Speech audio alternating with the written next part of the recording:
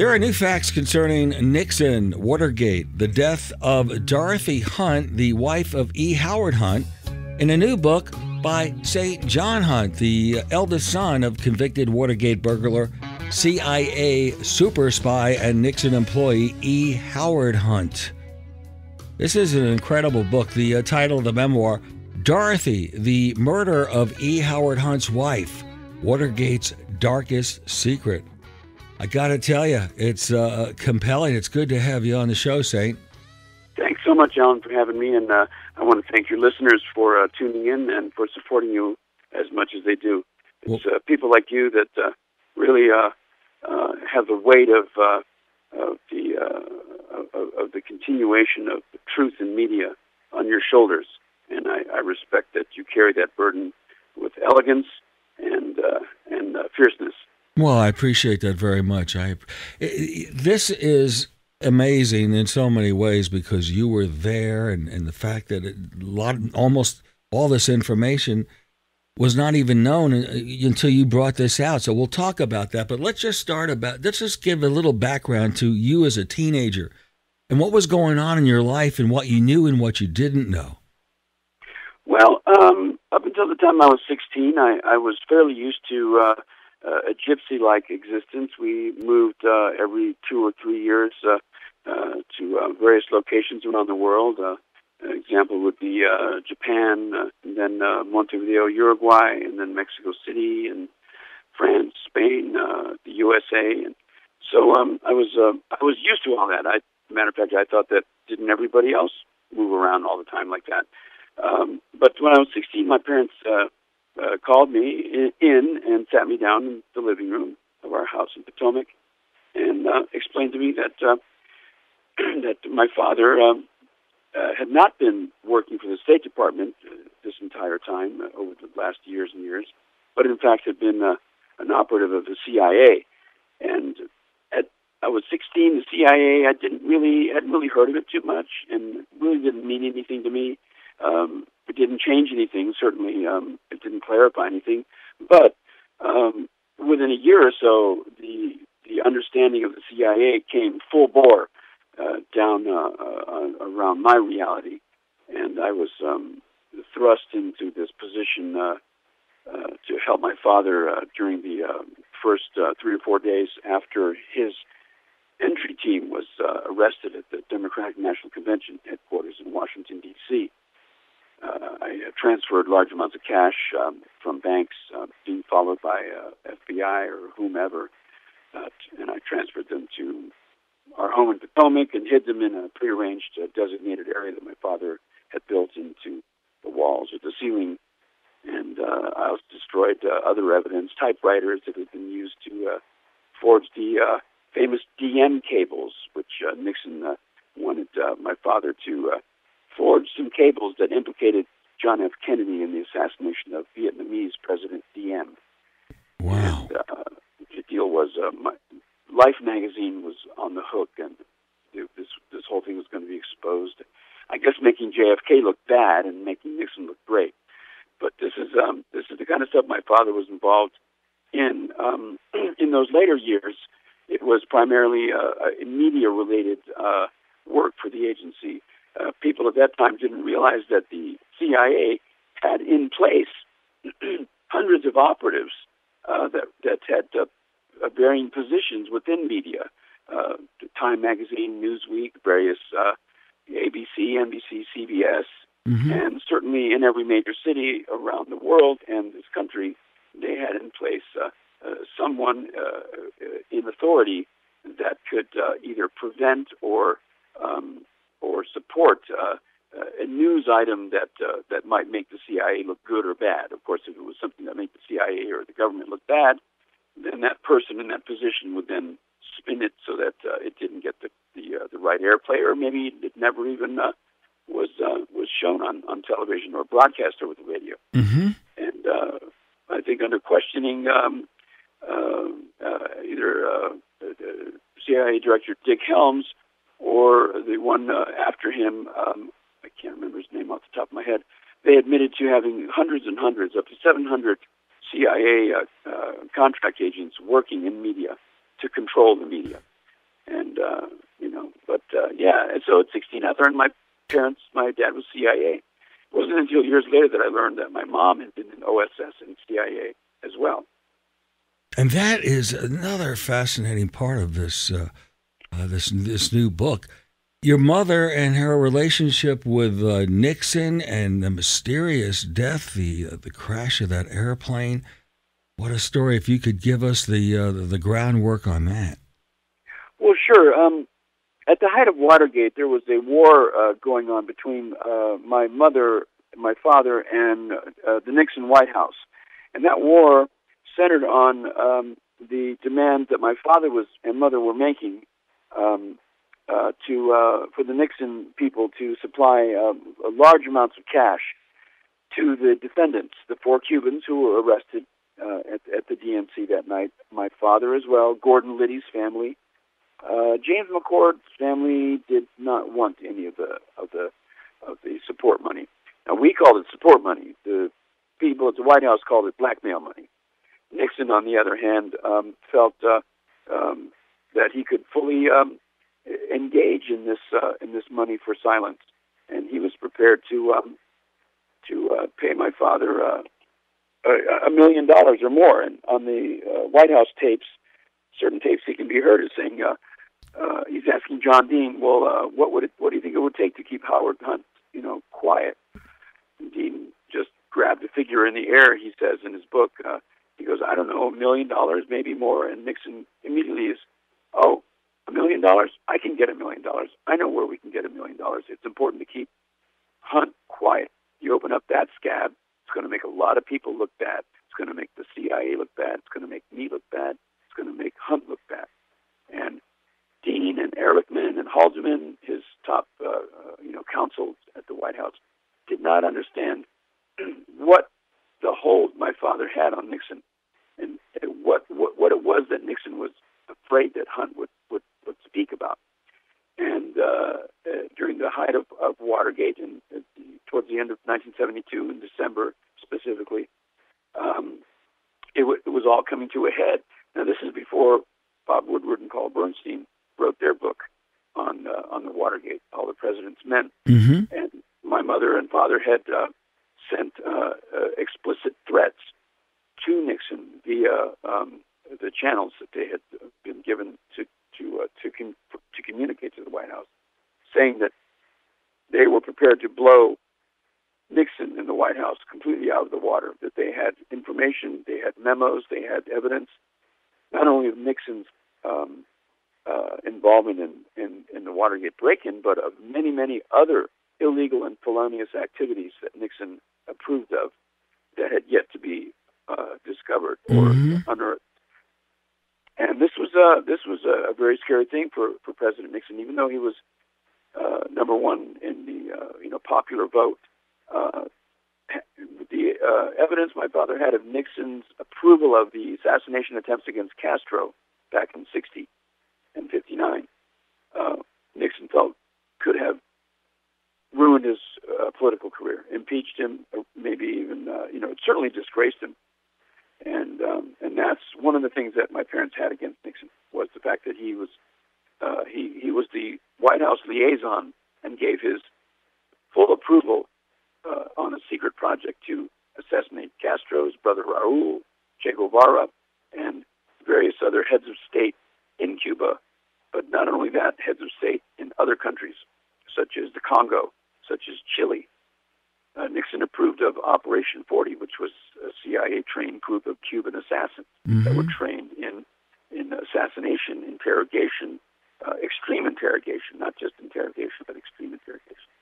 And uh, and they went off and running. And when Kennedy found out about this, uh, he uh, it's been quoted as him saying, uh, we've got a goddamn Murder Incorporated running amok in the in the Caribbean in the Caribbean.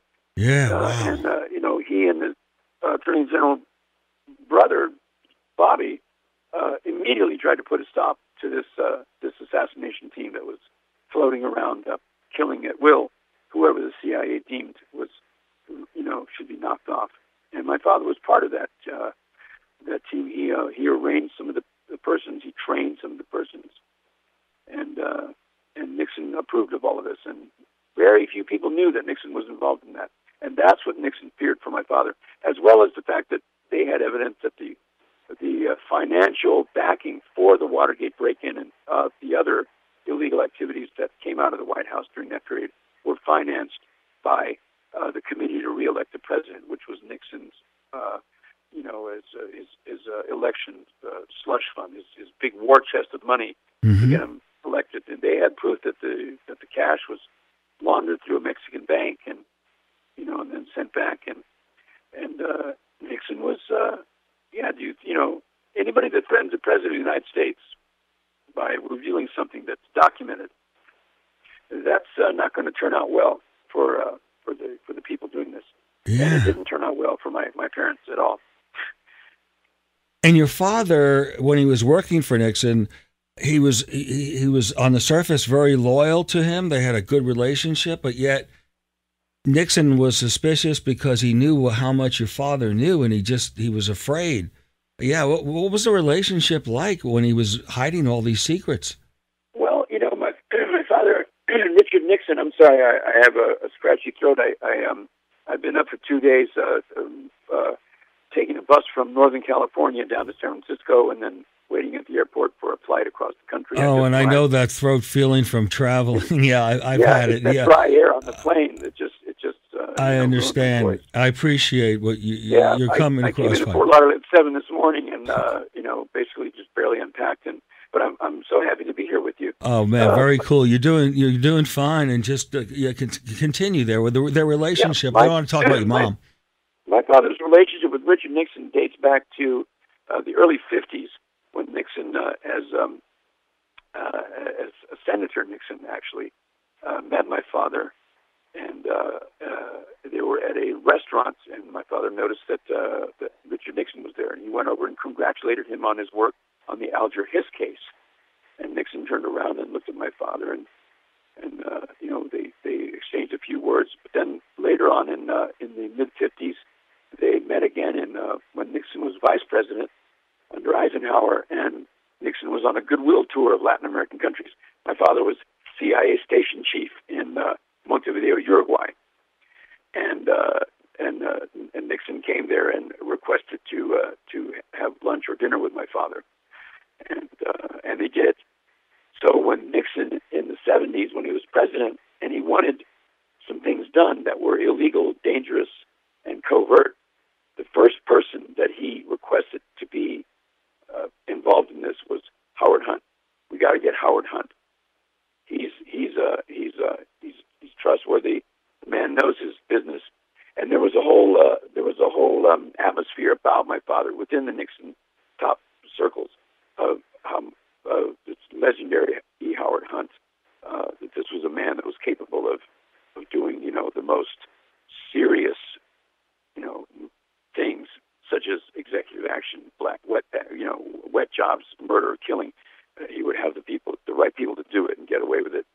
And he was also a charismatic, uh, a man of the world, uh, a lover of wine and, and, and fine art.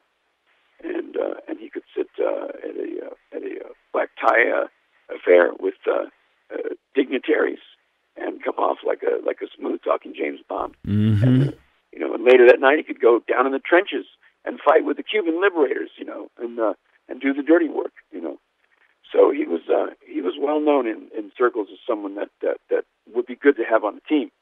So uh, and that was before the plumbers. This was for Nixon's desire to uh, bomb and burn the Brookings Institute, which Nixon felt had a dossier on uh, uh, that Castro had sent to the Democrats, uh, outlining the many CIA attempts that Nixon was involved in to kill Castro, to kill to kill him, and uh, Nixon was just uh, uh, fervently looking for this dossier. So my father broke into the Chilean embassy. They talked about burning down the Brookings Institute, uh, murdering Jack Anderson, who they felt might have a copy in his home. There was a plot to eliminate Hank Greenspun in Las Vegas because they thought he might have a copy. DNC was a target for the break-in because they thought there might be a copy in Larry O'Brien's safe. So, uh, Wow. you know, Nixon was trying to cover his trail in the uh, uh, attempts to kill Castro because some of the same people involved in the uh, in in uh, in, uh, in killing Castro were some of the same people that then turned their guns around and killed and and had something to do with killing Kennedy. If you're just tuning in, this is St. John Hunt. He is the author of the new memoir, Dorothy, the murder of E. Howard Hunt's wife, Watergate's darkest secret. He was the eldest son. And with this book, so much is out there. You're, you're talking about, you blame Nixon for uh, the death of your mother, uh, the plane crash. Uh, you reveal so much information uh, about your family and what was happening. And you were the one privy to that information.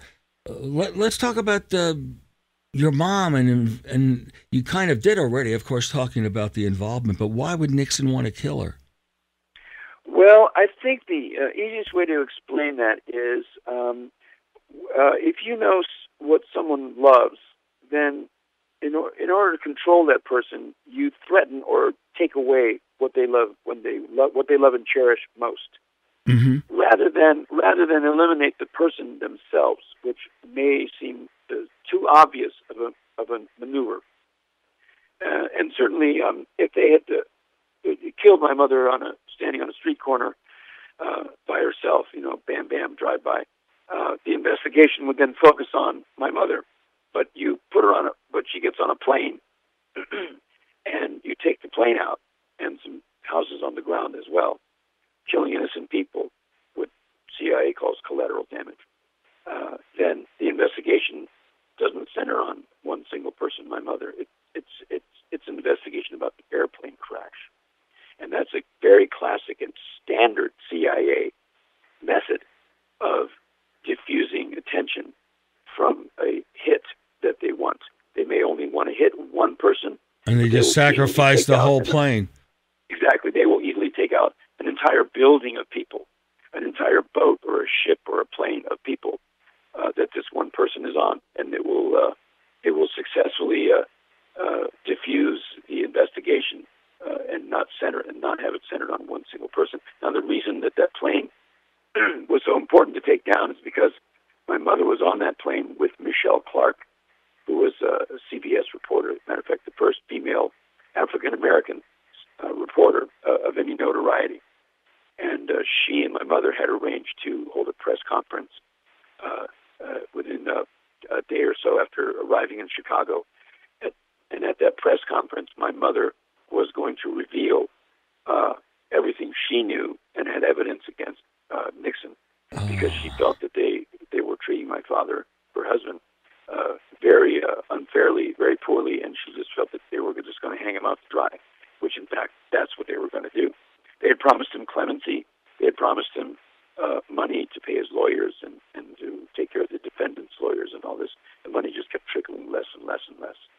And she was being followed she'd go and pick up. Uh, she, you know, I went with her to a, a phone booth in uh, Potomac, Maryland, about ten minutes from our home out there, and uh, we should wait for the phone to ring. She had her 25 caliber pistol uh, in her lap. She'd wait for the phone to ring. She'd get up. The phone, the phone would ring. She'd get out of the car, and it was spooky there. I, I felt doom. I mean, I felt danger in the air. And to pick up the phone, and she, you know, nod, say a few things, and then click get back in the car, take me back to our home, and then she'd say, I have to go out alone by myself. And I was uh, so upset about this. I, mm-hmm. I begged her to let me come with her. And she'd go to uh, Greyhound bus station or the airport or, and uh, pick up a, a key that was taped under a, a phone booth, a specified phone, phone booth. And the key would then correlate to a, uh, you know, a storage box or a locker on the premises, which would be inside would be a large satchel or bag of cash she would drive that back home and and and and we'd count it. You know, one time it was so cute of her. She handed me a, a five a five thousand dollar packet of money, and I go, "What's this for?" And she goes, "Buy a van and get out of town." And I'm like, "Whoa, where, where would I go?" She goes, "Go anywhere. Just get out of town. Take a trip around the country. Take your girlfriend, and and uh, you know, go for at least a month before you know while we get this business here sorted out. Yeah. That's when hmm. Watergate was really at its worst. This is when uh, water. You said when when Watergate was at its worst. Yeah, we were, surrounded by reporters. Yeah. FBI was following us. Our phones were bugged. Uh, my mother was being followed and tailed. Uh, um, surveillance on her was uh, 24/7 when she went and picked up these these this money that she went, and then she'd fly and give it to the Cubans and the Liddy family and all this stuff. And she she felt that her life was uh, in, in danger, and she must have known because on that flight she took out a two hundred fifty thousand dollar insurance policy, which she had never done ever in her life, and she flew, was used to flying all over the world. She may have had the feeling that it's kind of a gut feeling that this may be a flight she would not be returning from. Wow. And she was involved in the JFK assassination case also. You mentioned that, and I know that I mentioned it too, but eh, did she have information that was not revealed until, or has it still not been revealed? Well, she was only involved in the fact that, that she knew my father's involvement. I see. They they they shared everything. I mean, my mother was, uh, uh, according to Dick Helms, uh, who was the director of CIA, he thought that Dorothy Hunt was a higher was on a higher level than uh, than E. Howard Hunt, and uh, he said, quoted in his in his dim recollection, that Dorothy Hunt had been uh, uh, had definitely been a CIA operative, and and of course she was.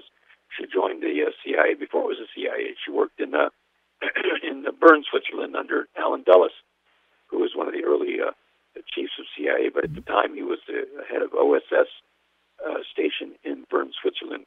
Bern, Switzerland was the center point for uh, for uh, uh, banking during World War II in Europe. It was the country that was not involved in World War II because it, it held all the banking, you know, capabilities for the Nazis who banked through the Swiss banks, and uh, you know the the, uh, the gold that they pulled from the teeth of the Jews and the money that they stole. Uh, uh, all went into Swiss bank accounts uh, uh, protected by the Swiss uh, uh, banking laws.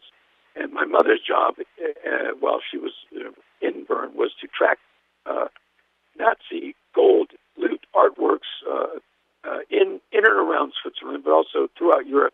Track them, find them, and then get a hold of them for the Treasury and the State Department. And then and then OSS took over Mm. that. That was called Operation. Uh, uh, it was called so Operation. hmm, I can't remember now. So, Safe Haven. That's what it was. Safe haven, okay.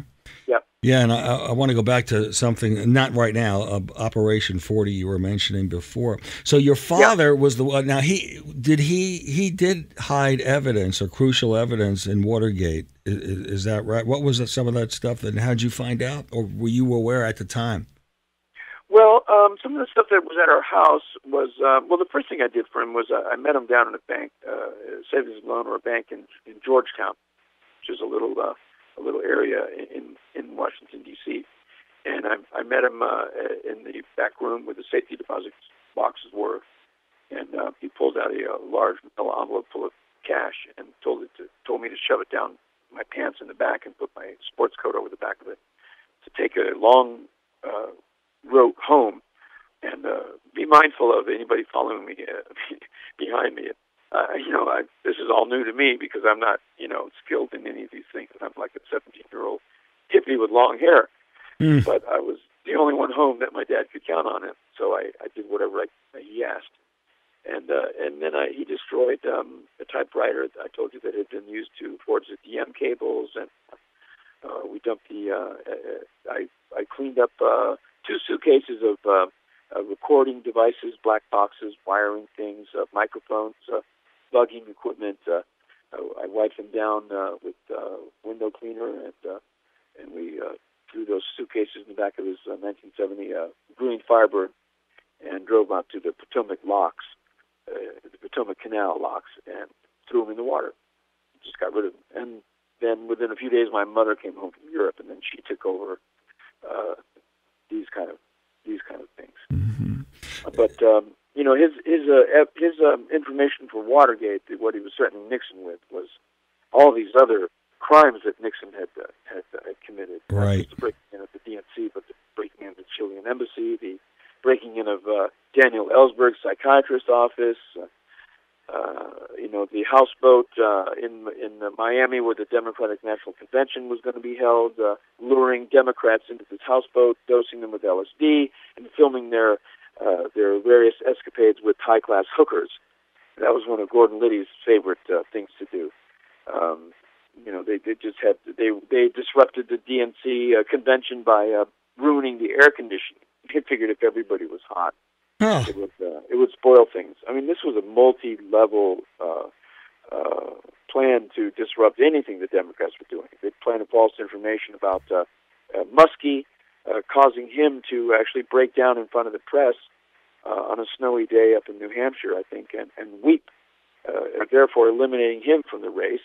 Uh, they uh, they sent my dad up to get the dirt on uh, Teddy Kennedy about Chappaquiddick. Uh, they sent him to Milwaukee to uh, break into Arthur Bremer's apartment, who, uh, was the uh, uh, alleged the uh, near assassin of George Wallace. He, he did shoot George Wallace and paralyze him, but he didn't successfully kill him. My dad's job was to break into the apartment while it was under police surveillance and plant pro-McGovern literature. Wow. I mean, these guys, these Nixon guys, were were freaking nuts. Well, you know, it's Um, interesting because it sounds like in so many ways it's a continuation. Make it look Democrats look bad. I mean, it's Yeah. the same game plan. It, it, it, Yes. Unbelievable. Yeah, just oh. And my mother uh, argued with my my father. Promised that when he retired from the CIA in 1970, which in this case was a false retirement.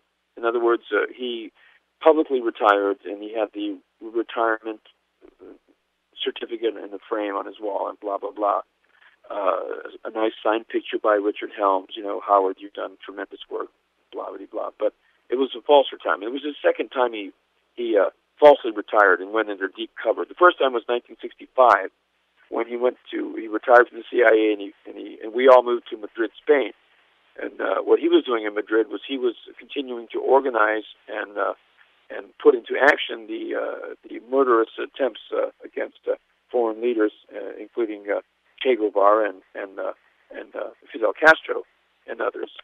Uh, and uh, and in 1970 he retired from the CIA and and, and within uh, six months or so found himself working uh, in the new in, intelligence gathering unit uh, in the White House. But he was reporting directly back to Richard Helms, the director of CIA, on a, on a, on a one-to-one basis. In other words, my father's memos and his his weekly reports were not going to the normal channels. They were being delivered by my father to the director of CIA hand to hand. So he was still in CIA, and this gives rise to many, many theories about well, the CIA was all over Watergate. You know, uh, it was a botched job. These guys could have done way better. What the hell was really going on? And uh, it, it's it's there's still a lot of mystery to that. Uh, certainly, um, Helms knew that um, if Nixon was caught, uh, if he was the ultimate person responsible for the Watergate break-ins, yet he did not actually authorize that specific entry, he would still be ultimately responsible as the president. He would then go into uh, cover your ass mode, and that's what Helms knew and counted on. Put something in front of Nixon, have it go wrong, and then watch Nixon cover his ass, lie, and cover, cover, cover. And that's the cover up that got Nixon impeached, not the crime itself. Yeah. And that's what Helms knew. Oh man. And you're keeping this in, trying to be normal to your friends and you, these the secrets are shared with you. And you met you met you met Nixon yourself, haven't you? Do you have you had contact with Nixon, didn't you, as a kid? No, I you know I had one opportunity. My father, uh, uh, our family was invited to a uh, some kind of a, a fundraiser event at the White House, and we were, we would be able to meet the president. But I was in my anti-Vietnam mode, and I had a black uh, armband and long Yeah, hair. yeah. I was There I'm, was no there was no way I was going to Yeah. shake hands with the president. I uh, definitely hear you on that. I'm, I'm from the same generation that you. Uh, uh, you have such an interesting book. Such an, and not, well, first of all, if you're just tuning in, Dorothy, the murder of E. Howard Hunt's wife, Watergate's darkest secret, the name of the memoir, by Saint John Hunt, who is the oldest son of E. Howard Hunt. And you had, and by the way, let me give you his uh, website. He, he writes interesting little articles and op eds at stjohnhunt.net. Spell out Saint, Saint stjohnhunt.net. I read an op piece about uh, what we should do in fighting these uh, terrorists. What happened? And, and man, yeah. oh man, did you? That was so interesting, so interesting. Do you mind uh, going over that? Or do you want to take a break no, first, or go ahead? Not at all. Yeah. It, it was. It just occurred to me that uh, in in uh, in researching and understanding what my father was involved in with Operation Forty, which was one of two different assassination teams uh, worldwide to uh, to eliminate uh, people that disagreed with American foreign policy. It seemed to me that uh, that that's exactly what we needed and and need now in in uh, in combating ISIS. We can't fight ISIS with uh, with standard military intervention. We can't carpet bomb ISIS. We can't uh, uh, restrict their uh, trade. We can't put a trade embargo on them. We can't restrict their, uh, you know, their anything. I mean, these are these are individual small cells that that are, are doing these things. And what we need, as much as the as the, as the uh, Israelis did during the uh, uh, the Olympics, when the uh, the PLO, the the uh, Palestinians, uh, uh, basically uh, held uh, the Israeli team uh, ransom, and then and ended up killing all of them uh, uh, when they were demanding the release of uh, fellow Palestinian prisoners. Um, you know, the Israelis there was no press about this. There was no, uh, you know, books, movies written about this. These were guys that a very small team that went around and for years killed each one of the persons, of the Palestinians involved in the murder of this uh, Olympic team, the Israeli Olympic team, and uh, it was done without fanfare, without notoriety, and it was done on a very personal level, saying, "We did this." and that and, you know and and that's what we need. We don't need a lot of fanfare. We don't need uh drones you know flying around dropping bombs or whatever killing innocent bystanders or collateral damage we need a team to go out there and quietly over the next few years kill every single one of these people that are responsible for those heinous acts and to be so trained and highly skilled at infiltrating and, and being believed to be sincere and they're accepted and Wow, what a team that is. Who does that yeah. kind of training, right? Yeah, and I, I thought, where are the assassins now when we need them? Where's Operation Jeez. 40 now when we need them?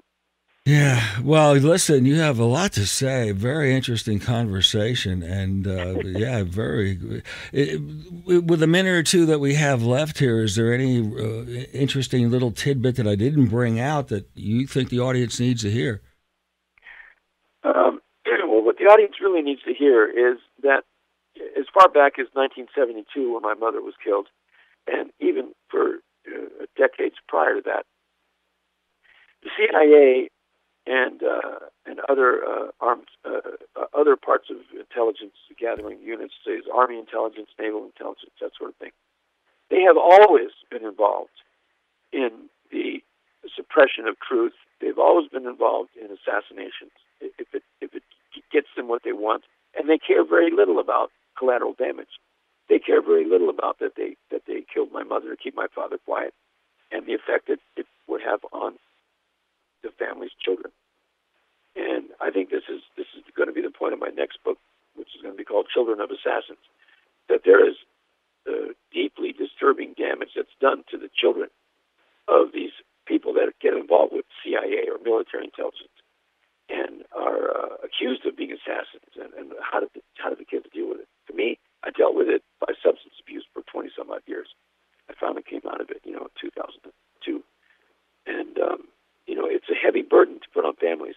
This idea that collateral damage is just something that is acceptable is not acceptable and should not be allowed to be acceptable. Good for you. I, yeah. Yeah. Wow. I'm trying to put my, you can't do it. I'm putting myself in your shoes. I don't know how, and your parents didn't even probably tell you everything. They probably just told you the stuff they had to tell you. Right. I never got the full story of the JFK assassination from my father, and uh, and I and I never got yeah. uh, my mother's full story either. But that's the other book, Bond of Secrecy, that I wrote, which details the last bed, deathbed confession of my father and how that came about. Bond of Secrecy. Bond of Secrecy. Yep. And then I then I wrote Dorothy, and they make a great companion. You should always read Bond of Secrecy first, and then Dorothy, and it just fits together so nicely. You can get plenty of information on his website, stjohnhunt.net. And again, the new memoir about all of this, this is uh, just out. It's called Dorothy The Murder of E. Howard Hunt's Wife, Watergate's Darkest Secret. Thank you, Saint, Allan. you're very welcome, St. John Hunt. It was great talking to you. Thanks for being on Wonderful the Allan you Show. too, sir. Bye All right. Bye bye.